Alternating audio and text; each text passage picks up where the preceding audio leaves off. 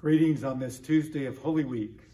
Tonight I'll be going to the cathedral to celebrate the Chrism Mass with the Archbishop and several other priests. It's one of the most beautiful Masses of the year, but there'll be some sadness tonight because you and other lay people will not be able to join us. The Archbishop will bless the holy oils that we'll use in the coming year for the sacraments of the church, and also the priests will renew their priestly vows.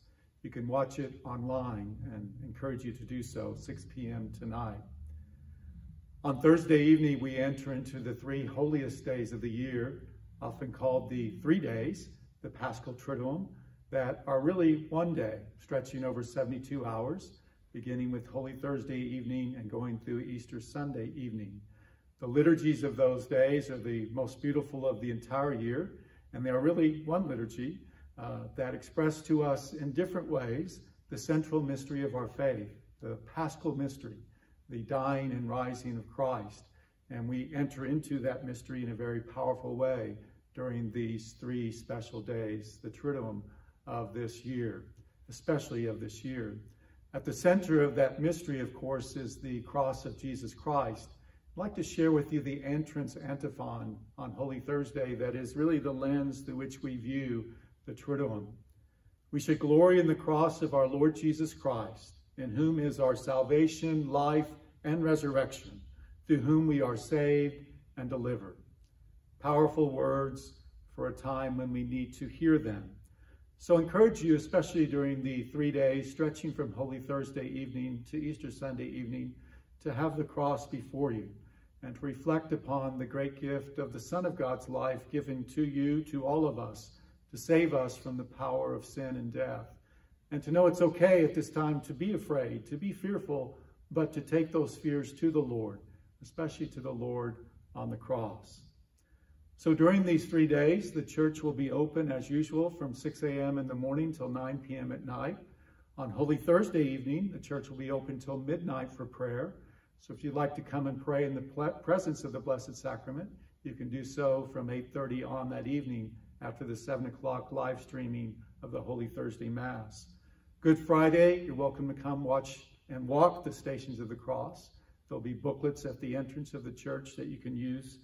Also on Good Friday, we'll have confessions offered from 12 at midday, 12 noon till 6 p.m. if you'd like to enter into that great gift of the Sacrament of Reconciliation. If you have donations that you'd like to bring by the church, again, it's open from 6 in the morning till 9 at night. And just appreciate the ongoing generosity of so many of you in supporting our church at this time with your gifts. I know a number of you have done the Catholic Relief Services Rice Bowl during Lent. If you'd like to write a check for all the money that you collected for that, and you can drop it off at the church, and we will send it on to the Archdiocese, or you can go online to Catholic Relief Services to donate what you have saved. Also encourage you to celebrate these three days at home. There are resources on our COVID-19 webpage for you to use. Obviously to join us on the masses that will be live streamed throughout the three days of the Triduum. This Friday, Good Friday, uh, the Archbishop of Los Angeles, Archbishop Gomez, who's the president of the United States Catholic Conference of Bishops, has invited all Catholics to join him in a special moment of prayer at 11 o'clock our time, Central Time, as we will pray together the Litany of the Sacred Heart. You can find a connection to that on our COVID-19 webpage. Finally, you'll find on that page as well, on our homepage, uh, under the live stream, uh, the Stations of the Cross that Deacon George uh, recorded. You can go there and pray those stations at home as well just invite you during the three days that are at the center of our faith life uh, to take a retreat. It's what those days are meant to be, to, to set aside those days as holy, set apart uh, for your relationship with the Lord in prayer. To do that, we are going to have the office closed on Good Friday and Easter Monday. Uh, it's been closed, but the phone numbers or the phone calls have been forwarded to our secretary. That will not happen on Good Friday or Easter Monday. But if you need me in case of emergency, you can call the parish office and there will be an emergency number to reach me. The Paschal fast is also a part of this retreat, these three days that we set apart. Stretches from Good Friday, and the church recommends that we take it into Holy Saturday. It's not a penitential fast like Ash Wednesday, but it's a fast like the day of your wedding when you're too excited to even think about eating because of the joy of giving yourself to your beloved. Or for me on my ordination day, just too excited about laying down my life in service of the church to think about eating. So if you're able to extend that fast into Holy Saturday, that would be great. What's required is on Good Friday, uh, no meat, and also just one meal that uh, you can have two smaller meals that don't uh, combine go larger than that one meal. But the fast I also invite you to enter during Good Friday at least, hopefully to Holy Saturday, turn off your TV. I know way too many people are watching way too much news on TV and uh, entering into a sense of deep helplessness. So once a day, catch up on the news, but turn it off. Enter into some silence and to, to spend some time with the Lord. And also social media as well. Other than your close friends or family, don't go trolling on Facebook, just to take some time apart from all that technology. So we'd like to, at this time, to offer prayers for our healthcare workers that are on our prayer list on our COVID-19 website. So let us pray for these who are on the front lines of confronting this disease, this pandemic, that the Lord will protect them and grant them all that they need.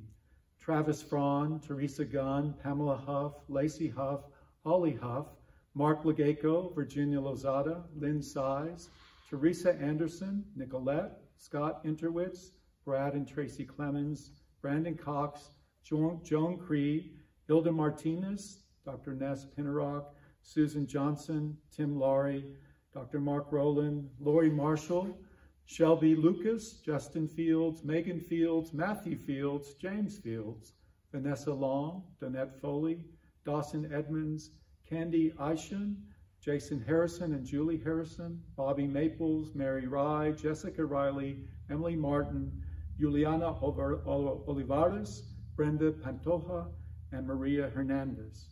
Keep them especially in your prayers. And now let us pray. Lord God, we ask that you would send your Holy Spirit upon our beloved country, upon our president, upon our Congress, upon all of us. Make us people of faith in time of uncertainty. Make us people of hope in this time of trouble. Make us people of compassion with those who are hurting and the less fortunate. And make us people of peace in our homes, our communities, and in our world. We ask this through Christ our Lord. Amen. Amen. And may Almighty God bless you, the Father, the Son, and Holy Spirit. Amen. I'll see you next Tuesday on this uh, technological outreach.